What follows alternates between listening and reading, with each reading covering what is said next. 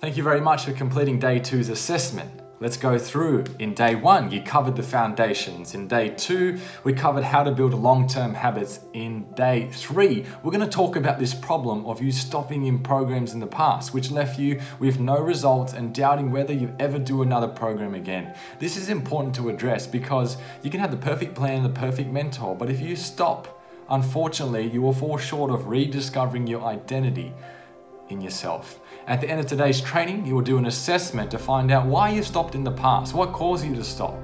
Do you see this consistently in your life? When it gets too hard or things don't go to plan, you quit.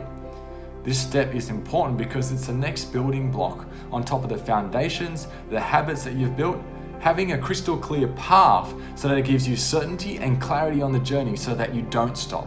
The problem that you have right now is when you lack clarity of where your long-term vision is, you don't do the daily work. And when you don't do the daily work, you ultimately don't get to the results that you're truly after and therefore you remain stuck.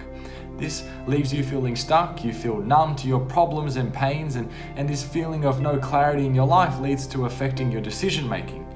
You do things that you think are right, but they are, are, not, and it leads you down a path that you don't want to go. This starts to affect your daily mood. People always say that you're always negative. You're not nice to be around, so you don't go out like you used to. You don't engage with your partner anymore because he doesn't want to be around you. Now, this leaves you lonely, upset, and stuck. This lack of clarity in your health and fitness journey leads to inaction because you no longer see the point in sacrificing and waking up early, training, eating well, if you don't know where it's all leading to. Therefore, you're feeling burnt out and lost. You don't know why you keep staying stuck or can't seem to follow through. And it's because you lack certainty on why you do what you do, which causes you to stop. In step three, we're going to go through the four steps you need to gain absolute certainty and clarity on your path path building number one on your nutrition and training, which will allow you to understand what is the vision for your training and nutrition. What is the results that you can achieve long term, that you can feel more certain. Path number two is building long term goals. Goal setting around why you're doing what you're doing. What are the benefits when I achieve these goals? Path building number three is in the daily work. What are my daily actions I need to take in order to get to where I want to be? Small daily goals compounding in growing your character, your skills, and your results. And path number four is on reflection. Every week improving, becoming 1% better. We want to improve and make sure that we're not aimlessly doing things, that we're doing things for a reason. So, from these four steps in building a crystal clear path, you will achieve clarity and certainty on what exactly you need to do every single day. When you move more certainty each day, there is nothing that will stop you because you know it's only a matter of time before you achieve your results. You will not stop.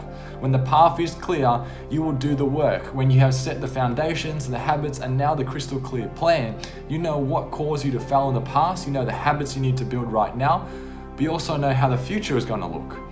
Step three is all about having a crystal clear path on how you're going to get there. When you have clarity and certainty, you will action and you will get to where you want to be.